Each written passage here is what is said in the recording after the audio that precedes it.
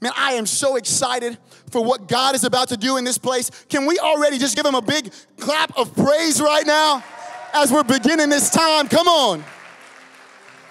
Praise God. You can be seated. Sit down on the outside, but don't sit down on the inside. I hope that y'all came with some faith. Somebody say faith. Lean over to your neighbor and say, I got some faith. Come on, lean over to your other neighbor and say, I got some faith. I got some faith. Man, well, I am glad we're starting off from the perfect place because with faith, believing anything is possible. And so I'm excited to see what God is about to do today in this time that we have together. I'm excited that I get to bring the word to you guys right now. Our pastors, Pastors Mac and Lisseth, there, there, it's game day. It's time. Y'all have seen it. There's a picture up right now. They're in the hospital. Come on. Praise God. Bringing another anointed child into this world. We're so excited. We're celebrating. Let's be praying for them all day long because those are our pastors, those are our leaders, and we're supporting them and we love them so much. So be praying for them on this special, special day. Pastor Max sent me a message earlier this week. He said, Sam, he said, I, I might need you to start preparing. I might need you to start getting, getting the message together. I'm gonna send you a couple of some scriptures over the next couple of weeks because I'm not really sure, you know, if I'll be there or not. And at the beginning of the week, he said, but it's 50 50. He said, I, I, I want to be there. He said, I, am going to I'm gonna try as hard as I can because I want to be with my authentic family. And then yesterday, in the middle of the day, I, I looked down at my phone. He says, 99%. You're in, bro. You're in, brother. You got it. And I said, okay. I said, I'm rushing home right now to, to get into it. So I, I am just, I'm just honored that I get to, to bring a word to you guys today. We have been on in this collection titled Open the Heavens. The heavens are open, guys. If you didn't know it, the heavens are open, and God's Holy Spirit is being poured out to onto those who are receiving it. That's what I know. And we've been going through a couple of secrets over these past couple of weeks. We've been, we've been unlocking and revealing a couple of secrets. And, and, and I, I don't know about you guys, but I know that for majority of us, we all like to be in on the secrets. I don't know about you guys, but, but if there's a secret to be had, I'm like, I kind of want to know what's going on. It kind of baits me in. I'm like, okay, what is this secret? What do I need to know? I, I, I kind of want to lean in a little bit better, especially with, with surprises. I love to be in on the secrets with surprises. Some of you guys, who like surprises? Anybody like surprises? Some of you guys like, I love surprises. Surprises are great. My wife, on the other hand, she hates surprises. Mallory is laughing right now because she knows. I tell my wife, hey, I'm gonna take you on a surprise dinner. She says, Where are we going? I said, It's a surprise. Why, why would I tell you where we're going? This is a surprise. I'm taking you on a surprise date. She'll ask me up until the point of us pulling up to the restaurant, Where are we going? Where are we going? Where are we going? And I'm like, Babe, that's the whole point of a surprise. She's like trying to look at my Apple Maps. I can't even put it on an Apple CarPlay because then she'll like start zooming over. And I'm like, What are you doing? What you, no, you can't know where we're going. And she just cannot, she cannot sit with a surprise. Nor can she, she hold surprises very well. I'm just, just gonna be completely honest. She loves to tell people, it's out of the goodness of her heart. She's like, I just want you to know so bad. Sometimes there's a surprise, and it's for me, and I like surprises. And we'll just randomly be having conversation, just driving down the street. And she's like, okay, so do you, you want to know what the surprise is? And, and I'm like, what, what, are you talking about? Like, I, I, wasn't really thinking about a surprise. I was thinking about where we're going right now. She, well, well I know you want to know what it is. And I'm like, um, I, I mean, it's a surprise. So I'm, if you want to tell me, you can, but I'm cool without knowing. I, am I'm going to tell you. I'm going to tell She just surprises. She's like, I just got to tell you. I just, I just got to let you know. I, I love her for, for that reason. But, but secrets, oftentimes they bait us in because there's something that it feels like we're missing. There's something about a secret that makes us feel like we're enticed to want to know what this secret is. And we've been going over secrets over the past several weeks, and I think that it's important for us right now to be able to distinguish that God is not the one holding the secrets. God is not the one trying to hold anything back from you. See, I think that there are mysteries that we find by exploring and spending time with God, but, but He's not the one who's saying, I'm holding these secrets back from you, and you have to play hide and go seek and go and find them. No, I, I don't believe that that's really what's going on. And, and the first reason why I don't believe that to be true is because all of the secrets we're talking about can be found in the scriptures. And so if you're sitting here and you're like, well, that's a secret to me, then, then my encouragement to you is that we probably just need to read the scriptures more. I think that many of the things are not secrets, they're not mysteries whatsoever. And the church is so baffled and we're going back and forth over theology. But if you look into the scriptures, everything is so clear there in the scriptures. Maybe it's that we just need to read the Bible more.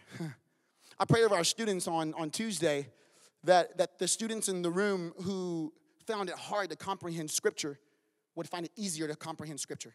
I think for so many people, we, we look into the scripture and we're like, man, I don't even know what's going on here. I don't know the context, what's going on. But what I know is that when I read scripture, it's a spiritual experience in which the Holy Spirit is revealing things to me and teaching things to me. And so I want to take a second right now, and you don't even have to acknowledge yourself. I want to pray over just people, just in general, who are finding it really hard to read the scriptures. Because I think once the church and the body begins to read the scriptures, we'll actually know the power that we possess. We'll actually know what heaven is actually opening up for us. So, Father, right now I'm praying over every person in this room, anyone who feels discouraged about reading the scriptures, anyone who feels like the scriptures don't make sense to them, they're unsure where to start at. Father, the ones that, that seem so intimidated by even reading the scriptures, that, that, that get afraid to read the scriptures because they don't understand them. Father, right now I'm speaking it, that it would be made clear to them, God. That you, your Holy Spirit, would be, would be the device that would speak truth to every single person as they're reading the scripture. We wouldn't have to go look up a commentary, we wouldn't have to go look it up on Google, but God, your Holy Spirit revealing truth to your people. That's exactly where we want to be. In the name of Jesus, we pray. Amen. If you receive that prayer, today go read scripture. Go try it out. I had my students right then and there. I said, let's start reading scripture right now. And we prayed over their minds right then and there. Start to read the scriptures. I, I believe that all of the secrets are actually found in the scripture, so they're not really a secret, but the enemy would love for them to appear to be a secret. So that we as the church would continue to go to church, continue believing in God, but never know the power and never know what we have access to. Never know that we actually have access and the ability to be able to cast out every single demon. Never know that we actually have a peace that surpasses all understanding, no matter what situation you're going through. The enemy would love for the church to just be a people who just show up and never actually know what they have access to. And I want you to know something you have access. This is what opening the heavens is all about is you realizing that there's so much more for you, but I think that the church has gotten it confused. We've confused common with truth. What was common, what my religion was, what tradition is, this is what I know about the church. This is what I've heard being a part of this church organization. And so this is where I believe. The issue with that is that it's not always common that healing is taking place in the church. So you might show up and you might feel a little bit weird, like, ah, I'm not really sure if this healing thing is taking place. We're praying for physical healing over people's bodies right now. I'm not really sure I can get on board with that. And you might begin to doubt. And you know why? It's because in none of the churches before did you see healing. So it wasn't common in your churches before but what I do know is that it is common in the presence of God. And so when we're in the presence of God, there should be physical healing. When we're in the presence of God, there should be mental and spiritual and emotional healing that's taking place. It doesn't matter what your church used to do, it doesn't matter what the church of the road does. I care about what the Holy Spirit is here for. And what I know is in his presence, healing takes place. And what I know is that in his, in, in his presence, giftings are given. We start getting weird, like, oh man, the giftings, like prophecy. Um, I'm not really sure about that one. I'm not really sure about speaking in tongues. That, that just seems a little bit too wacky and weird for me because it wasn't common to you. But what's common to us is oftentimes not what's most powerful. It's the things that God does in the moments that blow our minds. If it was, if it was common, it wouldn't be a miracle. But I believe that we need to normalize miracles taking place in the church. I believe we need to normalize the spiritual giftings flowing inside of each and every person inside of the body of God. I believe that these things should become normal. These things should no longer be a secret for the church. And I've got a secret that I want to reveal to us today. One in which I think the enemy has captivated our minds in so many ways and, and told us lies about. But what we find in the scriptures is that our obedience produces blessing. This is the truth. There's no other way you can cut it up. There's no other way that you can say it. There's no other way you can do it. It's just that simple.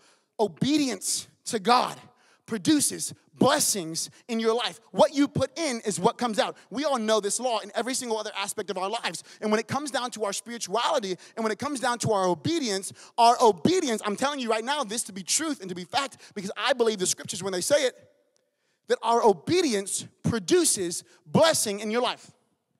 Doesn't matter how it looks, doesn't matter when it comes. I just know this to be a fact. This is true. And so I want to take us to a place in Scripture in Deuteronomy chapter 28, verse 8 through 9. We've been in this space, in this portion of Scripture. In the context of this portion of scripture is that Moses, for all of Deuteronomy, has been sharing his heart. He's been laying his heart out there for the Israelites because he knows that he will not be going into the promised land. He will not be crossing the Jordan with Joshua. He knows that this is his final address. These are the last words he wants to say to the people of God. And so, a part of that is their obedience. The Israelites struggled with obedience, as we can find throughout the scriptures. But verse 8 says this Moses speaking to them says this the Lord will send. Other translations say command. I love the translation that says command because he's in charge of it all. Command a blessing on your barns and on everything you put your hand to. He'll command a blessing on your barn. See, I grew up in the city. I didn't grow up I'm in the country. I don't really know very much about barns. I've been to a couple of barns, been to one or two. A couple of them were smelly. A couple of them were turned into venues for weddings. I, I, I, those are the only barns that I really know. But, but what I know about barns, specifically in biblical times, is that what this is a representation of is your capacities. See, in your, your barns is where you store up things. In your barns is where you have your cattle. In your barns is where you have all of your tools. And so even in this time period, it was, it was significant of what you had of even your rights or, or your property. It was significant of that to have a bigger barn. And so we find that in the scriptures, our obedience, our obedience expands our capacity for blessing. Your obedience expands. Let me break this down for you. When we choose to be obedient, God then is able to bless us with more. When we choose to be obedient, even with the smallest of things, He expands your capacity. And so you may be here today and you may be thinking, I don't feel like my capacity is expanded in a while. Well, then maybe you should go back and you should think, Am I being obedient to God? Because when we're obedient, He blesses our barns, He blesses all that we get in, He blesses all of our possessions, He blesses it all. He expands our capacities. I don't think that the issue with the church is that God's blessing is not being poured out. I think that the issue with the church is that our capacities are too small. And so he's pouring out his blessings and we're missing it because our capacities are so small. But what if the church started to expand our capacities? What if we actually started to have God thoughts? What if we actually started to love people the way that Jesus loved people? What would begin to happen to our capacities? And then he also says this that our hands will be blessed, the work of our hands. It's going to take work. I hope you know that. It's going to take work. I think that, that one, of the, one of the challenges for this generation, and maybe it's seen as a good thing for this generation, is that we've become so hands off. Some of us in this room and our kids will never know what it feels like, Drex, to carry in 12 bags of groceries on one hand to, to our house, hobbling like this right here, because you just can't go back to the car. You, they'll never know that because why? Because groceries just get delivered to our house. We, we call, we, we put it in, we put the app. Next thing you know, there's the groceries. We pick them up, we put them in. They'll never know that long driveway I used to have that I would have to walk down and I didn't want to go back. All 20 in one hand, full send. They'll, they'll, they'll never know what it feels like to drive in rush hour with, with, with, with some very aggressive drivers on the road because we Uber everywhere, so we don't even put our hands on the wheels anymore. They'll, they'll never know what it feels like to pick up a bag from Whataburger that's greasy and the honey butter chicken is just dripping out of the bag and rolling down your forearm like the oil rolling down on Moses' beard. They'll never understand what it feels like to grab that bag and your car be filled with the smell of french fries and, and it's, there's, there's oil and stuff leaking in your seat. This, they'll never know what that is because you can, you can Postmates, you can deliver it to your house. But spiritually speaking, would we not become hands off? Would we remember that there's power in our hands? Would we remember that when we put our hands on our children, they are blessed? Some of us need to start putting our hands onto our children and start to pray over them that they would receive a full portion, a double portion of a blessing over their lives. Some of us need to put our hands actually to work. You think you've been going to work, but you've really lazily been going to work. Put your hands to your work and watch and see how the Holy Spirit starts to give you an increase, and so how He starts to give you raises, and how He starts to give you more authority, and how He starts to give you more money. Watch and see what happens when you actually put your hands on something. And watch them see how it's blessed. We'd rather spend all, all of our days with our hands on our phones instead of putting our hands in places. What about that business idea, that entrepreneur idea that you have that you've been waiting out on because you're afraid? Put your hands to it. Put your hands on it and watch how He blesses all of your business ventures, all your financial investments when we put our hands onto it. God is expanding our capacities, and I hope that you guys are ready to step into obedience so He can expand our capacities and bless the works of our hands. The scriptures go on and they say this The Lord your God, once again, that word bless, will bless you in the land He is giving you. Oh, I love this one. I love this one. Number two, obedience positions us for blessing. See, when we're obedient, we actually step into the right places. We actually go to the right places. We actually take charge of the land that God has given to us. When we choose to be obedient, see, Moses knew a lot about this one because his people chose not to be obedient. Moses knew a lot about this one because his people actually wandered in the desert for 40 years because of their lack of obedience. And so he's saying to God's people, You guys have to get this right. You're the next generation. You have to understand that every place, when God gives you a space, you walk in and you take it. Don't hesitate. Don't go back to where you came from. Go and step onto the land that he's given to you. And some of you guys, God has given you land and territory, but you're just too afraid to step in and take it. Growing up, there was a plot to the left of my house, and there was trees on this, this plot of land. And my friends and I, we would play by the creek, and we would play in the trees and play tag and all the things on this plot of land. And one day we come back, and all the trees have been cleared out. And then we realize that there's a building project going on, and they're actually building a home right there. So they laid the foundation, and there was concrete on the ground. And my friends and I, and many of the other neighbors, they're questioning, like, what's going on here? Like, is someone moving into this space? Someone moving into this house? And so a month goes by and nothing has happened. All there is is just a foundation. There's just concrete slab. And um, two months goes by. So eventually, my friends and I, we start to use it as our skate park. We start to ride our bikes on it. We start to build ramps and we get on our scooters, which was not safe whatsoever, but we would get on our scooters and we would ride off of this ramp and we would, we would get the little black marks in the, in, in the concrete and, and we'd play tag on it. And it was, the, it was our new jungle gym. It was amazing. And eventually, this space, after months and months of not being used, several people started to come onto it. The, the potheads from school came onto it. The, the, the, the, random people walking by just throwing trash to throw trash. And so eventually, the whole entire property was just trashed. It was just concrete and the black skid marks from, from us like, wheeling and all, all the different things we were doing on it. That's all, that's all that was left there. And matter of fact, they never built on that house until maybe two years after I had even left that house. And I started to think about this that several of us have already got the land. Several of us have already got the foundation because His Word is a foundation. And He's just saying, Won't you step onto it? Won't you put your hands to it? Won't you build something here? Won't you step in and actually take possession of the land that I've already given to you? But so many of us, the issue is that we're just giving it away to everybody else. We got so many squatters on our land. We got the guy that did us wrong last summer. We got those addictions we still got that are still taking over our minds. We got all of these things that are still on our, on our land. Did you know that your mind is land? He's giving you that, that, that land as well. And, and every time that you say, oh, I'm just always going to deal with anxiety, you're now taking, you're now saying, I'm not going to step onto that territory God has given to me. Every single time that you say, I can never forgive them, you're not, you're not stepping onto the territory that God has given you in your heart and your emotions to be set free from some things the land that he's given to you, your family. You always complaining and saying, well, my family's just always going to be the same. Well, look at this family right here. I know that I know that, they, that that there were moments whenever you guys felt like I'm not sure, I'm not sure, but we're going to stay steadfast. And now we've got families and generations right here in this house right here who didn't know God just three months ago, worshiping God with everything they've got.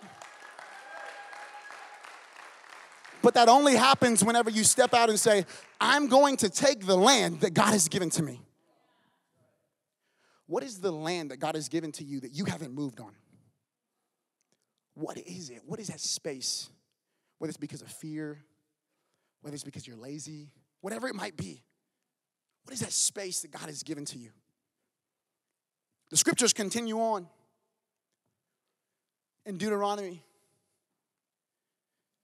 Verse 9 says this The Lord will establish you as his holy people, as he promised you on oath, if you keep the commands of the Lord your God and walk in obedience to him. The Lord will establish you. I sat for a second and I just contemplated this verse. I sat for a second and I just contemplated what, what, what does this mean for us? That He'll establish us. And when I came to it, what I realized was that our obedience establishes us as the blessing. Our obedience to God establishes us as the blessing because here's what I know when God's people crossed over the Jordan, no longer was the land the same. When they walked over into the land that was given to them, the land was no longer the same. If it was fruitful before, now it's even more fruitful. If it was safe before, it's even more safe. If it was abundant before, it's even more abundant. Because when God's people step into rooms and we step onto new territories and we step onto new lands, everyone around us gets changed. Everyone around us starts getting blessed. This is the blessing. God established you as his holy people, so walk as a righteous one, walk as a holy one, already set apart as a blessing. Every single time you step into your workspace, every single time you step in and you hang out with your friends, you've got to know you should be a blessing, and the people around you should be, should be blessed. The people around you should be blessed. This is a really good litmus test. Are my best friends or the people around me being blessed because of me? If not, there may be a step of obedience you need to take so that others around you can actually experience the blessing. You see, the interesting thing about the scripture, and you can put it back up there, but the interesting thing about this verse 9 right here is it says if. If. In scripture, when, when, when we see if, this, this, is, this means that, hey, if this happens, there's a condition, there's a specific thing that's gonna have to take place before this happens. If you obey his commands. If you walk in obedience.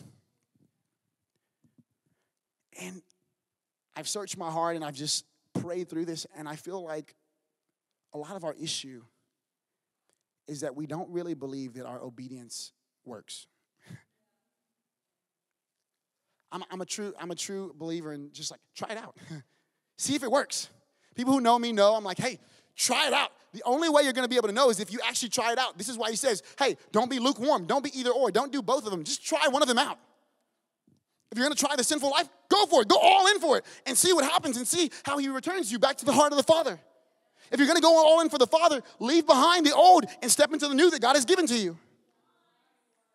But I think so many times we'd rather just appear to be obedient and actually be disobedient in the dark, where people just don't know. And our secret no one else is ever to know.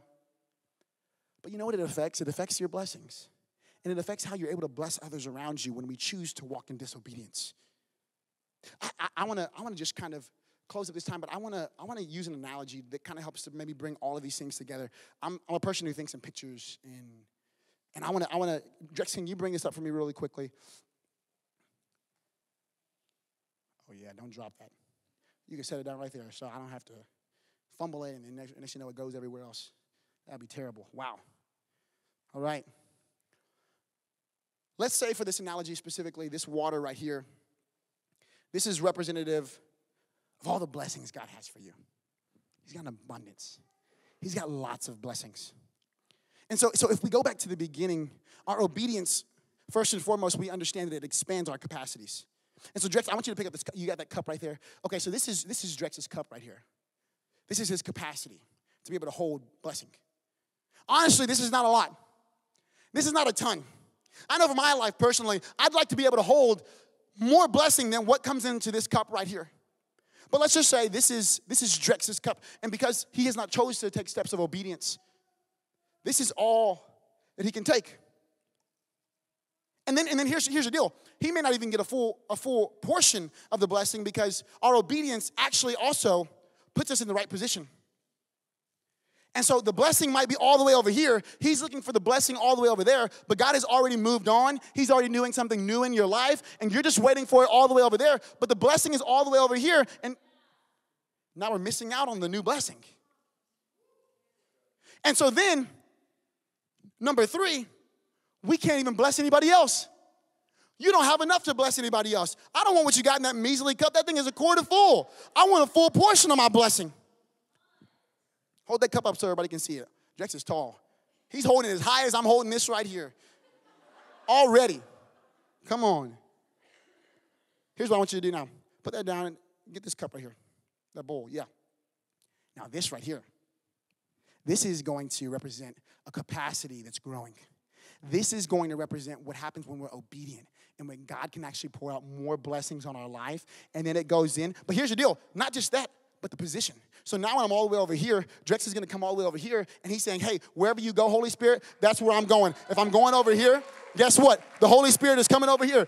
Oh, I'm going over there. Wherever you go, God, I'm going there. That's where I'm going. Here we go. Here's the deal. Y'all thought this was it. Bring me up that other picture right there. We got more water. Grab that picture right there.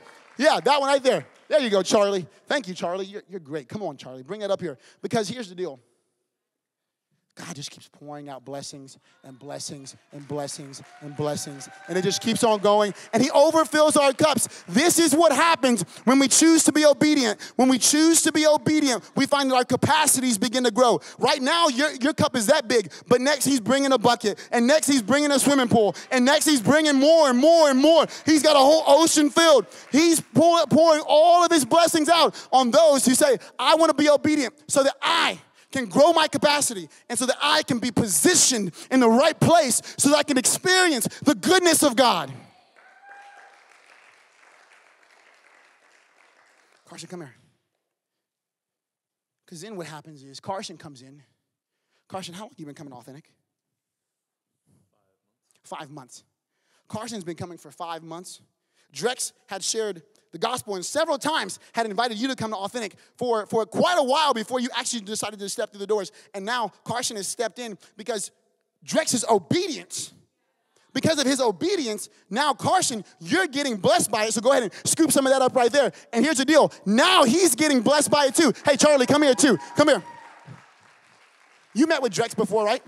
Several times. Go ahead, scoops him out right there. He's met with him too because he's exercising his obedience in all the different ways. Hey, Logan, Logan, come here, come here. Oh, yeah, we meet with Logan every single Friday with him and his boys. So, guess what? All of them, come on, scoop it up, scoop it up. And now, look, everyone else is getting blessed. This is what happens when you decide to be obedient. Our obedience blesses others. Thank you, boys. You can take that water with you. You can drink it out of that bowl. Like a big bowl of cereal. Sheesh. Hey, this is what I know is that this word right here is about to propel you into this week. That the Holy Spirit is guiding you and He's leading you and He's reminding you of the very thing that you were encouraged on right here today. And I'm so glad that you guys decided to join us here. Hey, if you guys aren't following our social media, what are you doing? Join us right now on our social media. There's so much encouraging content and so many updates and new things that are going on right here at Authentic. We want you guys to join us right there. You can follow us on Facebook or on Instagram at Authentic City Church. And hey, for some of you guys who would like to give, we'd love for you guys to partner with us through your giving. There's a couple of ways you can give. You can go to authentic.church and give under the Give tab, or you can give through Venmo. Hey, I love you guys. Peace. I'll see you soon.